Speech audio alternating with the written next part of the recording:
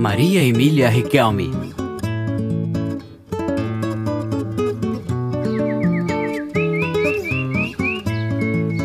Hoje, 5 de agosto de 1847, é um grande dia, nesta casa granadina. Nasceu uma menina, choramingona. Eu vi entrar o coronel Riquelme. Ouço a sua mãe. Joaquim, olhe para ela. Mas é uma menina. É tua filha. Muito rápido, o pai ficou apaixonado por sua pequena Maria Emília. Ele pouco imaginava o que seria para ele e para a descendência Riquelme.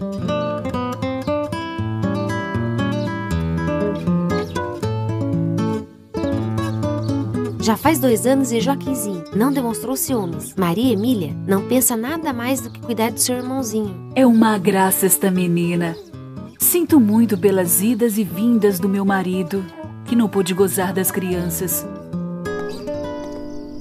Até em Pamplona eles me levaram. Para as crianças, uma aventura viver em uma cidade tão bela. Porém, se aproximam maus momentos.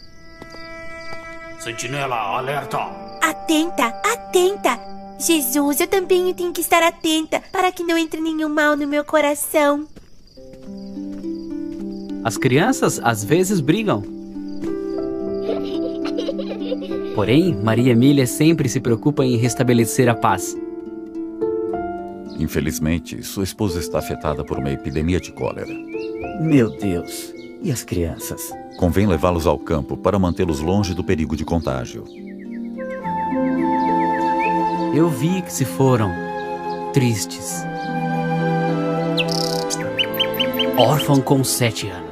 Escuto-a falar com Nossa Senhora. Ela a sente como sua mãe. Não sei se sonha ou é uma graça. Maria lhe mostrou o menino. Jesus, quero ser somente sua. E não foi uma decisão infantil, mas sim por toda a vida.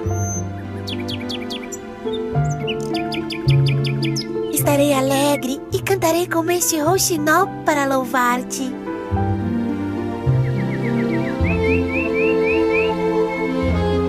Quantos tombos tive que dar com a gaiola de cá para lá? Talvez em Tenerife Joaquinzinho melhore. Emelita, fale-me de Deus como você sabe. Isso me dá força e alegria para aceitar meus sofrimentos. Olá, Maria Emília, aqui estamos. Já vou e começaremos a catequese.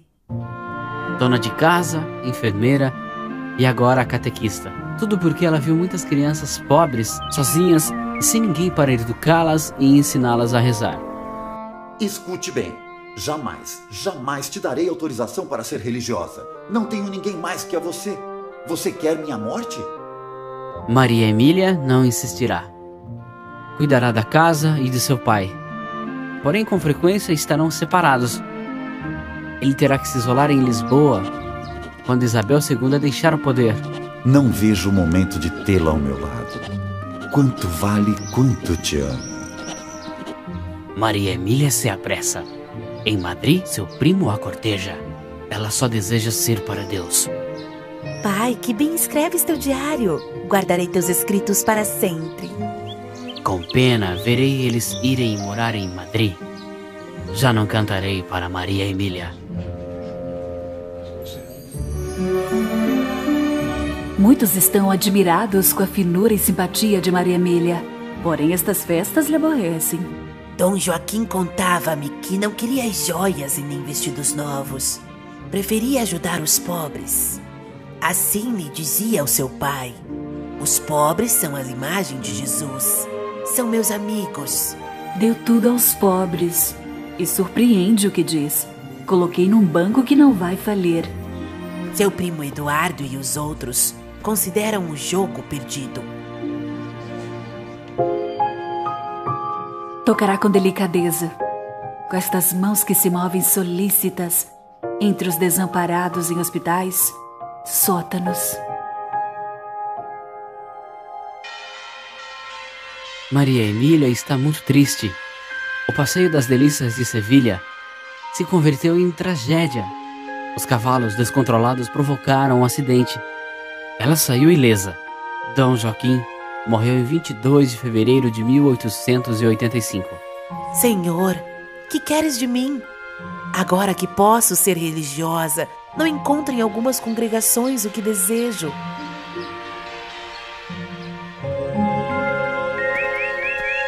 Senhorita, está aqui o senhor administrador. Ó, oh, que entre.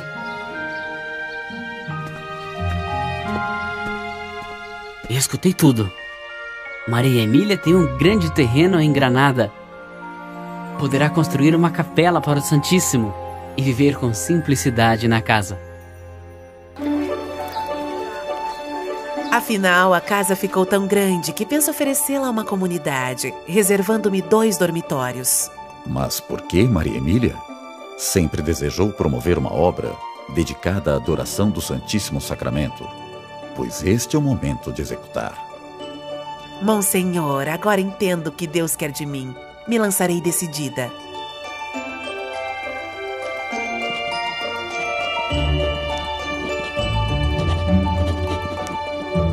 A congregação que tem como centro a Eucaristia se dedicará principalmente à adoração perpétua, às missões e à educação da juventude. Manhã, 25 de março de 1896, é o grande dia da fundação das Missionárias Santíssimo Sacramento e Maria Imaculada. Eu canto de alegria e ela me escuta. Maria Emília Riquelme tu te consagraste ao Senhor. Todas juntas iniciam humildemente um caminho novo na igreja. Nossa Senhora da Conceição lhes acompanha. Como vês, a escola já está funcionando e vão entrar outras candidatas. Somos pequenas, porém Deus é o nosso tudo. A madre sofrerá também muitos contratempos inclusive calúnia. Mas este pequeno broto, e é a congregação, irá crescer. A segunda fundação será em Sarria, em Barcelona, e a terceira em Madrid. Senhor, tua presença me acompanha noite e dia. Queres que não me desanime e tenha coragem. Sinto que com amor as dores serão glórias.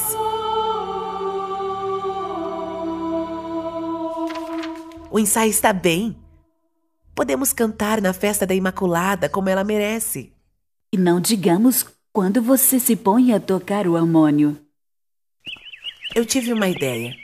Dos três canários que cantam muitíssimo, colocaremos um junto à igreja. Este de cima. Irmã pura, eu morro de gratidão a Deus. Enfim, nesta segunda viagem a Roma, o Papa aprovou a congregação. Passaram-se muitos anos. A madre se desviveu pela pequena obra. Com alegria, viu as missionárias partirem para o Brasil e sofreu as dores da guerra civil. Agora, com seus 93 anos, é toda oração, humildade e ação de graças a Deus, a Imaculada, as suas filhas. No dia 10 de dezembro de 1940, Maria Emília Riquelme deixa a terra que viu nascer para viver em Deus para sempre. Suas filhas escutaram suas últimas palavras: Jesus, em tuas mãos entrego meu espírito. Assim avançamos por este caminho evangélico, traçado por Maria Emília, atentas ao nosso mundo de hoje. O amor irá te ensinando o que deves praticar. Queremos ser prolongação de Jesus como alimento, força e consolo para os nossos irmãos, especialmente os mais necessitados. A missão não tem fronteiras. Maria nos acompanha. Ela é o lugar de encontro com Jesus Eucarístico.